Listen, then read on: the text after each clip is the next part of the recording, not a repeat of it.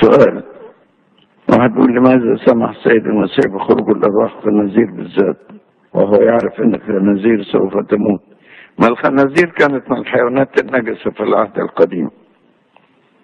فكانوا ما يقدروش يطالبوا بها. ما سبب دخول الروح النجس في الإنسان؟ ولماذا سمح الرب بذلك؟ طبعا مش أي إنسان ممكن يدخل له روح نجس.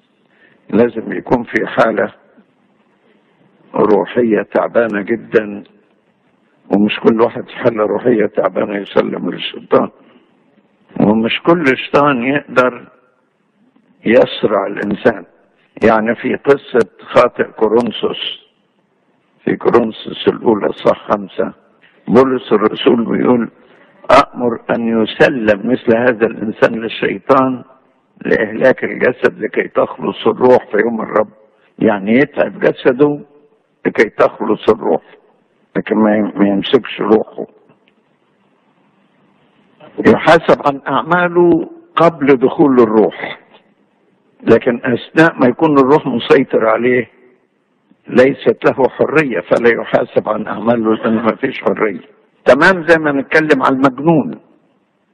المجنون لأن ما عندوش عقل. نقصد الجنون مطبق يعني.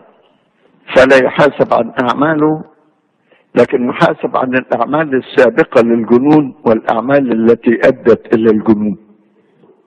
عايز يقول كمان يتحسب مراته وهي اللي جابت له الجنون.